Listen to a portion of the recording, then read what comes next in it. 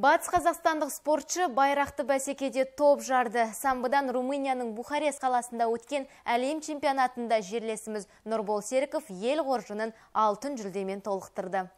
Самбо күресінің пайда болғанына биыл 80 жыл. Мерейтоймен тұспа-тұс келген биылғы әлем чемпионатына 80-нен астам мемлекеттің мықтылары қатысты. 68 келі салмақта ел намысын қорғаған Нұрбол Серіков боз кілемде 5 белдесу өткізді. Финалда Әзірбайжан палуанымен күш сынасқан болатын. Тартысты жекпе-жек барысында Эмиль Хасанов бір ұпай басымдығымен алға шыққан еді. Алайда отандасымыз кездесудің соңғы секундтарында жеңісті жұлып әкетті.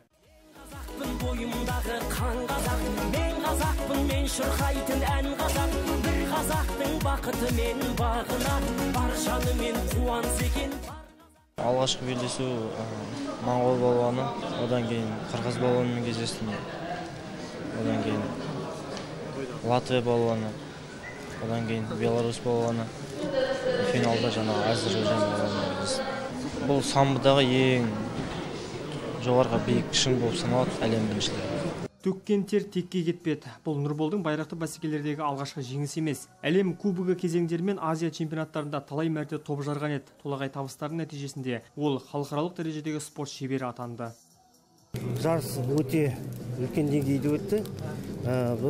Нұрбол шәкіртім ол бес кездесу өткізді. Әзербайжан палуанымен кездесті. Өте тәжірибелі палуан.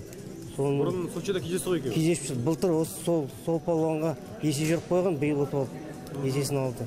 Алла тілегімізді беріп жиен немереміз чемпион мира болып келіп жатыр. Ол балаға ең бірінші зор денсаулық тілеймін. Айта кетейік бухарестте жалау желбіреген әлем біріншілігінде ел құрамасы екі алтын бір күміс үш қола еншіледі. Еркебұлан смадияров рүстем есжанов айдос кейсимов ақжайық телеарнасы.